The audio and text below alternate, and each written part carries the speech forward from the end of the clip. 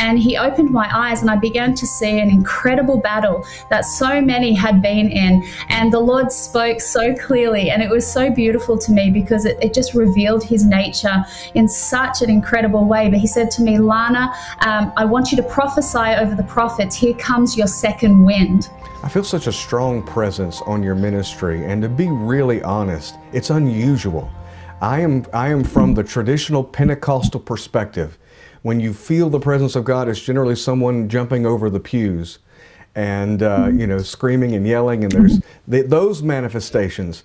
But you talk about this new prophetic move and that God is going to speak in new ways, and you're really flowing in that. You're really operating that, and you can feel it.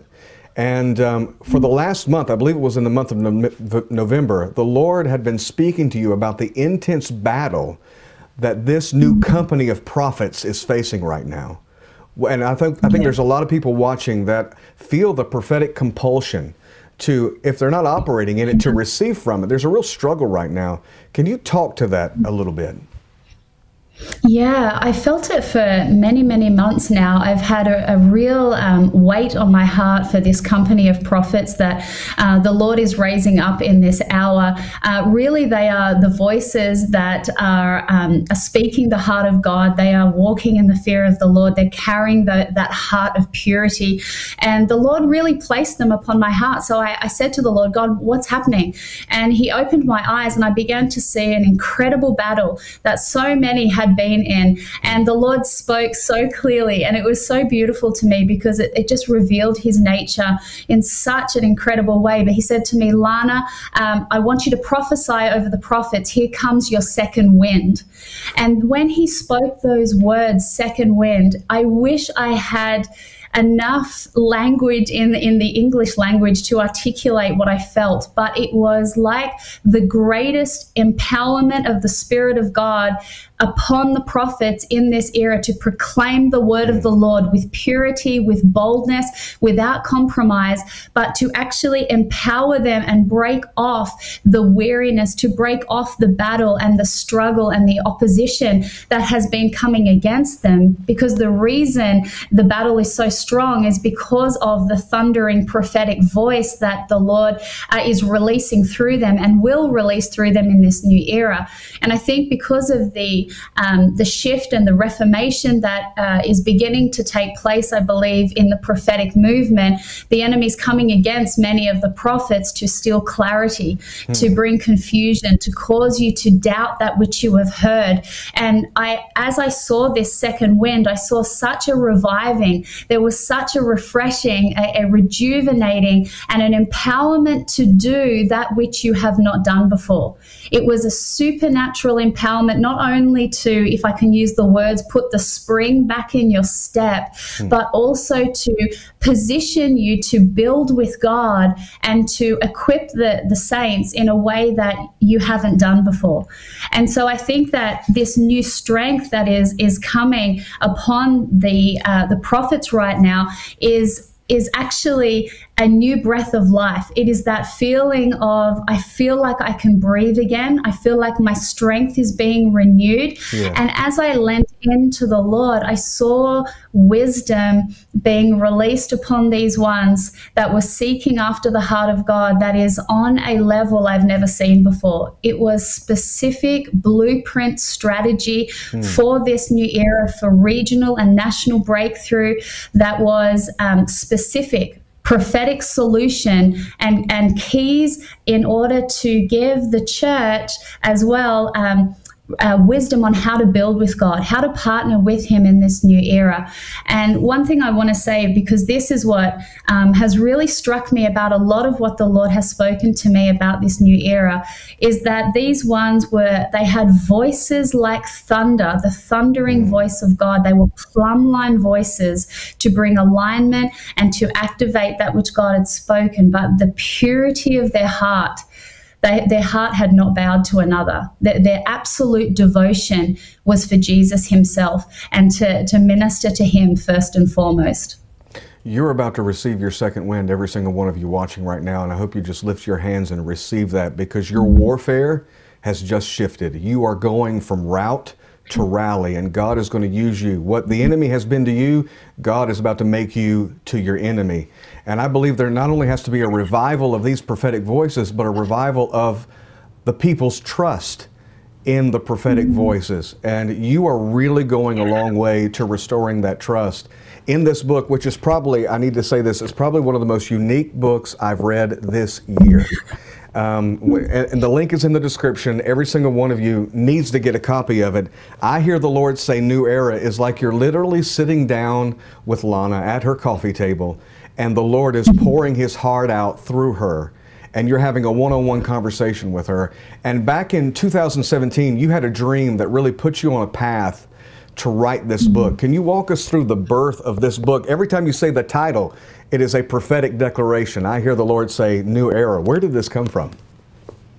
Yeah, I uh, so I had a dream in 2017, and um, and in the dream all night long, the Lord spoke these words, um, "Lana, it's not the end of a season; it's the end of an era." Mm. And as he he spoke those words, it just resounded loudly over and over again for hours. And I'm not talking, um, you know, a, a, slight whisper. I'm talking. If you've ever seen the Ten Commandments, Charlton Heston yes. type, that it was a booming voice in my dream. And often when the Lord speaks to me like that, I know that it is a decree um, and it's important. It is a decree that is is has a, a level of impact and magnitude that is is huge. And so as I was dreaming, I could hear him saying it but also at the same time, I could hear the sound of bells ringing, and I knew uh, in my dream that it was a sound of freedom.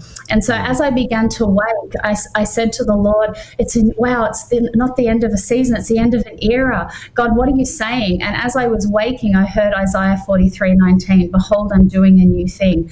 Uh, do you not yet perceive it?" And so that was really the the birthplace of a series of encounters with the Lord in my own journey of positioning myself and saying, okay, Lord, so what actually is this new era and what does it look like? Because if it's a new era, it means that. Um, the, the blueprints, the strategies, the way that you, you move is going to be different. Your nature remains the same, but God, I, I'm positioning myself to hear from you for what are the keys in how to position ourselves to partner with you, to co labor and build with you in this new era. And that became um, the birthplace of this book. Or everything that's in those the chapters of my book are things that the Lord had spoken to me that were really important for us as the body of Christ to position ourselves to be propelled uh, into this new era and all that God was going to do. Well, Paul said, There is a great door open unto me, but there are many adversaries.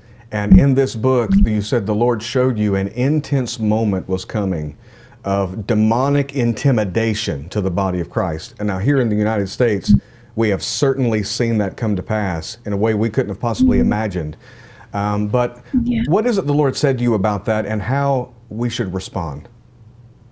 Yeah, um, the Lord really spoke to me about this intimidation, and He, he kept saying to me, Lana, um, it's an illusion of intimidation. And the enemy was coming against God's people in this hour, and he was sounding loud, and he was trying to push uh, God's people back into a corner and really steal their voice and steal that place of authority that has been given to them uh, to build with God and to extend the kingdom and to tear down the plans of the enemy. And the Lord began began to really speak to me about positioning ourselves in this new era by taking the Lord uh, at His word, to really be in that secret place with Him and to be hearing His heart and waiting on the word of the Lord and moving forward in a place of radical faith.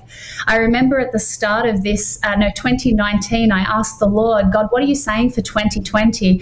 And He said to me, Lana, it's the year of bold faith. And I said, okay, Lord.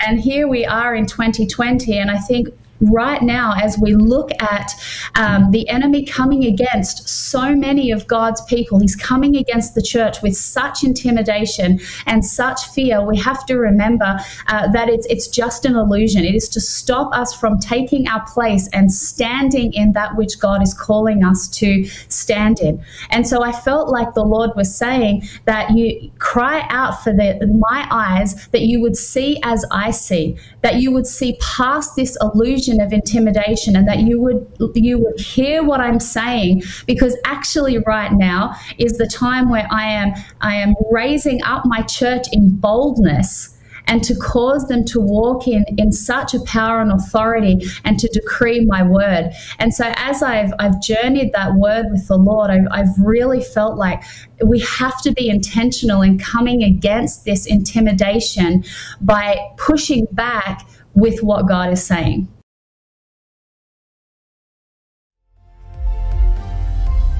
Hey guys, I hope you're enjoying this video. Make sure you like, comment, subscribe, share. Your engagement helps us get the word out. But I've got an exciting announcement for you.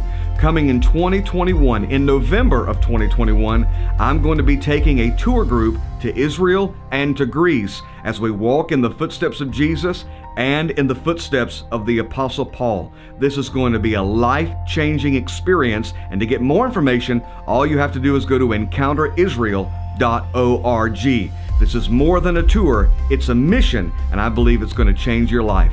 Let's go together.